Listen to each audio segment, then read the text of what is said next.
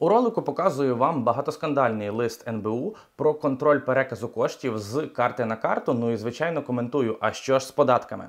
Додивляйтесь до кінця, оскільки інформація справді важлива. Привіт! Мене звати Богдан Янків, я є адвокатом, і ми з командою з восьми професіоналів надаємо професійні послуги приватним клієнтам та бізнесу.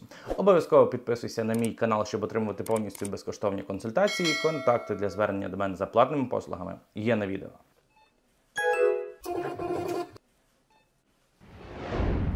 Давайте почнемо з мінімальної теорії того, як в нас побудоване податкове законодавство і чому зараз активно піднімається питання того, що за переказ з карти на карту потрібно платити податок. Згідно статті 164.1 податкового кодексу, загальний оподаткований дохід вважається будь-який дохід, який підлягає оподаткуванню, нарахований, виплачений чи наданий на користь платника податків протягом звітного податкового періоду, тобто року.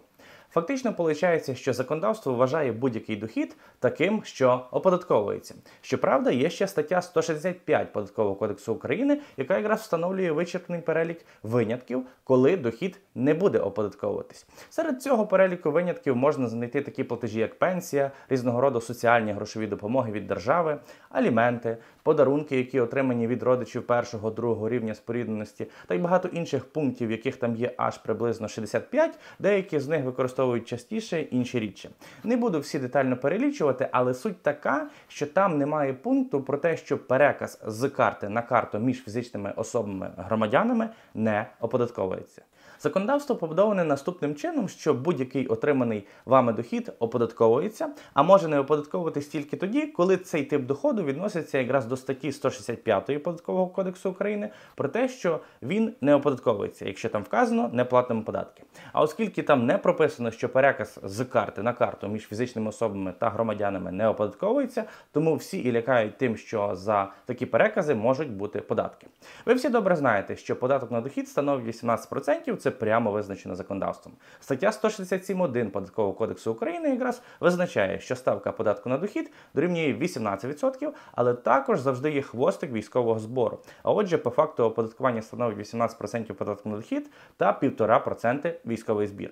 Звичайно, є статті 167.2, 167.5.4, де встановлена інша ставка 5 та 9% податок на дохід, але це більше стосується отримання спадщини, дивідендів за кордону чи подарованих коштів за нотаріальним договіром договором дарування. Тобто проміжний підсумок є наступний: що чинний податковий кодекс, який діє аж з далекого 2010 року, всі ці норми давно має, і звичайні перекази з карти на карту оподатковує. По факту, хоч ці перекази і оподатковуються, адекватного інструменту контролю у держави довгий час взагалі не було. Згодом з'явився з 2014 року фінансовий моніторинг, який плюс-мінус активно почав працювати з 2019 року. І якщо є масові зарахування на карту, банк вас заблокує. А далі передає цю інформацію у Державну службу фінансового моніторингу, який якраз і мав би звертатися до податкової, до бюро економічної безпеки, але по факту цього толком не робить. Тому не буду зупинятися на цьому детально, бо розповів це у попередньому ролику. Кому цікаво переглянути, заходьте на канал, переглядайте. Так от тепер е, НБУ видає лист, який зобов'язує банки звітувати про платежі між фізичними особами. Оригінал листа можете бачити на екрані. Згідно цього листа, банки щопонеділка о 16 годині будуть звітувати Нацбанку про безготівкові платежі між клієнтами та суб'єктами господарювання. Звітувати будуть про еквайрингові платежі, P2P платежі та платежі через програмне забезпечення клієнт банки. В цілому цей лист наробив паніки, але він зовсім не стосується контролю за переказ з карти на карту. Більше цей лист спрямований на боротьбу з так званим міскодінгом, тобто, коли платять платіж за казино, а по факту це оплата за дитячий одяг чи послуги юриста, чи щось тому подібне. Чи зможе виникнути більше проблем у звичайних фізичних осіб через цей конкретно лист НБУ? Саме через цей лист я дуже сумніваюсь, тому що в цілому те, що фізичним особам чим раз, тим важче з карти на карту буде переказувати кошти, це 100% законодавство це повністю заперечує. І через те, що цей лист вийшов, у нас законодавство не змінилося. І так, є заборона